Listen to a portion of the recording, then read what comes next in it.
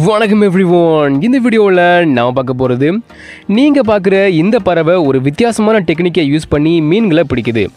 அது என்ன டெக்னிக் அப்படிங்கிறதையும் அந்த டெக்னிக்கை யூஸ் பண்ணும்போது எப்படி இதுக்கு மீன் கிடைக்குது அப்படிங்கிறதுக்கான மூணு காரணத்தையும் இந்த வீடியோவில் பார்க்க போகிறோம் வாங்க வீடியோக்குள்ளே போகலாம்.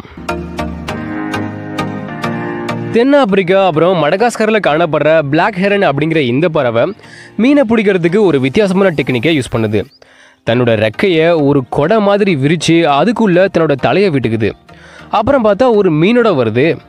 எப்படி இதால் இதை பண்ண முடியுதுன்னு பார்த்தோம்னா அதுக்கு மூணு காரணங்கள் இருக்குது ஃபஸ்ட்டு ஒன்று என்னென்னா ரெக்கையை இப்படி விரிக்கிறது மூலமாக சூரியனோட ரிஃப்ளெக்ஷன் தடுக்கப்பட்டு பிளாக் ஹெரனால் மீனை தெளிவாக பார்க்க முடியும். ஸோ அது அக்யூரேட்டாக வேட்டையாடிடும் ரெண்டாவது காரணம் என்னென்னா பறவை தன்னோட ரெக்கையை விரிக்கும் போது அந்த இடத்துல நிழல் உருவாகுது. ஸோ ரெஸ்ட் எடுக்கிறதுக்காக நிழலை தேடிட்டு இருக்க மீன்களுக்கு பறவையோட இந்த நிழல் ஒரு நல்ல இடமா இருக்குது ஆனால் கடைசியில் ரெஸ்ட் எடுக்கிறதுக்காக நிழலை தேடி வந்த மீனுங்க ரெஸ்டிங் பீஸாக மாறிடுது. மூணாவது காரணம் என்னென்னா நீங்கள் நல்லா வாட்ச் பண்ணிங்கன்னா பிளாக் ஹேர்னோட உடம்பு ஃபுல்லாக கருப்பாக இருக்கும். ஆனால் அதோட பாதங்கள் மஞ்சள் கலரில் இருக்கும்.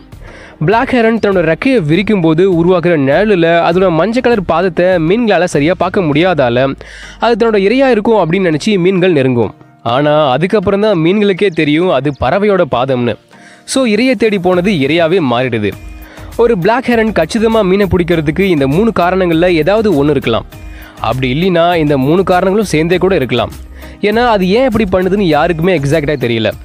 எப்படி இருந்தாலும் பிளாக் ஹெரனோட இந்த ஹண்டிங் பார்க்க ரொம்ப அழகாக இருக்குது அதுக்கு கச்சிதமாகவும் கை கொடுக்குது. பல டைம் சக்ஸஸ்ஃபுல்லாக இது மீனை பிடிச்சிருது.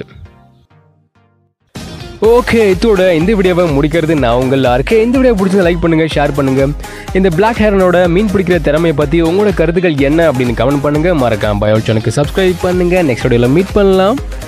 தேங்க்யூ